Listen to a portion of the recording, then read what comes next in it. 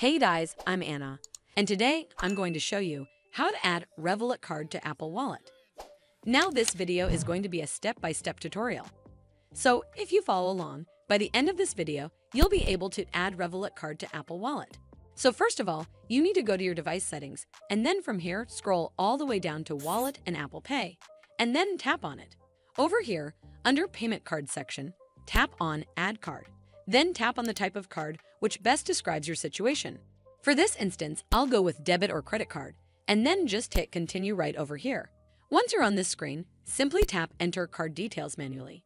It'll then ask you to enter in the Revolut card details, and then just hit Next and Continue.